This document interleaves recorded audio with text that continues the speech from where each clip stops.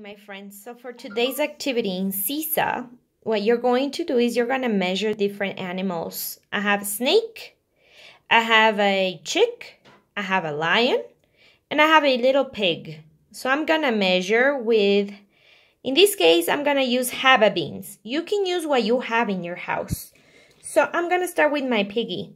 I'm going to measure how long is my piggy. I'm going to put the haba beans one next to the other.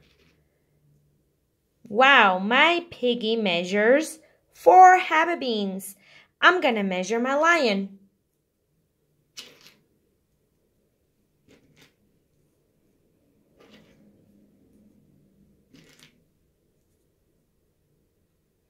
My lion measures one, two, three, four, five. Five haba beans. I'm gonna measure my snake.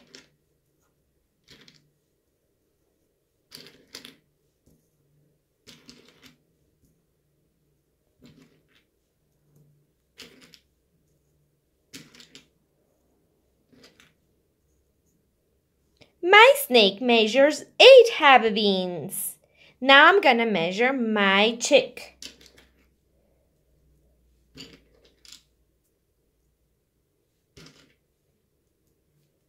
My chick measures three haba beans.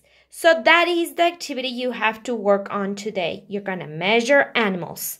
Have fun, friends!